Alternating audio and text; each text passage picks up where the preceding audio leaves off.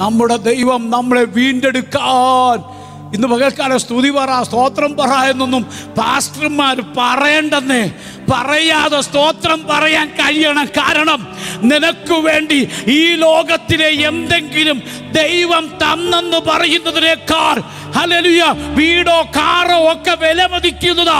എന്നാൽ വിലമതിക്കാൻ പറ്റാത്ത യേശുവിന്റെ രക്തം നിനക്ക് വേണ്ടി കാൽവറിയിൽ ചീന്തിയെങ്കിൽ പരിശുദ്ധമായ രക്തം കൊണ്ട് ചീന്തി നിന്റെ പേരവൻ മാറ്റി പാപി എന്നുള്ള പേര് മാറ്റി മക്കൾ എന്നുള്ള പദവി തന്നെങ്കിൽ അതുകൊണ്ട് യോഹന്നാൻ പറഞ്ഞത് കൺമീൻ നാം ദൈവ മക്കൾ എന്ന് വിളിക്കപ്പെടാൻ പിതാവ് നമുക്ക് എത്ര വലിയ ദൈവമക്കൾ എന്നുള്ള പദവി നമുക്ക് തരാൻ എന്താ പിതാവ് ചെയ്തത്? യേശുവിനെ കാൽവറി തകർത്തു.